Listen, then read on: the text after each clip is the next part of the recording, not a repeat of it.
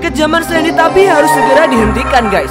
Ketika Slendy Tabi sedang asik menyiksa seseorang di dalam hutan, SCP-096 datang dengan pasukan Prof. Kohar guys. Tiba-tiba Slendy Tabi berteleportasi dan menyerang SCP-096 dengan jurus api guys.